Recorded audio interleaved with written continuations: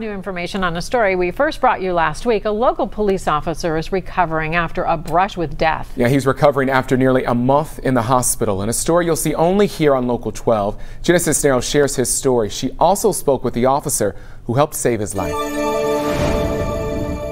Behind every strong law enforcement officer, there's an even stronger family you know, I just never ever thought that I was in a, a, life or death situation. About a month ago, Norwood Lieutenant Ron Murphy was in Fayetteville to deliver a check to their police department to help support a Fayetteville officer in the ICU battling COVID 19.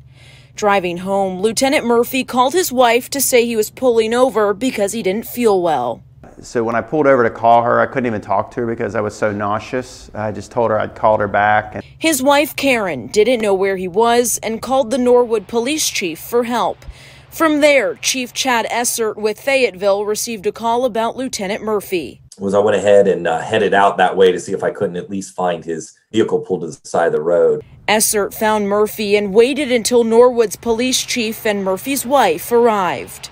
I did just what I would want anybody to do. And, you know, what I know of Lieutenant Murphy, he'd have done the same thing for me or anyone, really. Murphy was later taken to the emergency room, only to find out he was suffering from a life threatening brain aneurysm. Nearly a month spent in and out of the hospital, Murphy says he's grateful to see another day. Yes, yes. I mean, uh, I've got three kids, so and also grateful for the man who didn't leave his side, who he says helped save his life. And I just can't wait to see him and just thank him again because I told him he didn't have to worry about me, uh, and he's much smarter than me. I'm just thankful. Reporting in Norwood, Genesis Cisneros, Local 12 News. Lieutenant Murphy hoping to return to work soon, just on light duty though for the time being.